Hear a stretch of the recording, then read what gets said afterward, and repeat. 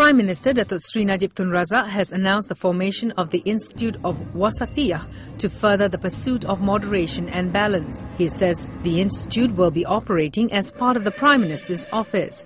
The Prime Minister also announced the launch of the new Global Movement of the Moderates GMM Foundation as a center of first resort for the consolidation and dissemination of information to those who want to join the fight against extremism. He said rather than being an exclusive initiative of Malaysia, the GMM complemented other initiatives for global dialogue and cooperation such as the United Nations Alliance of Civilizations.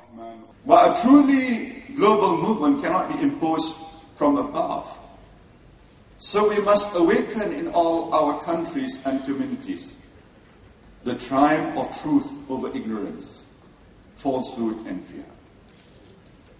Ladies and gentlemen, to advance our common cause, I'm pleased to announce today the formation here in Malaysia of an Institute of Wasatiyyah operating as part of the Prime Minister's office. To further the pursuit of moderation and balance in all its aspects respect for democracy, the rule of law, education, human dignity, and social, social justice. He said this at the launch of the Global Movement of Moderates International Conference on Tuesday. Najib first mooted the idea for the movement in his maiden speech at the 65th session of the United Nations General Assembly in New York in September 2010.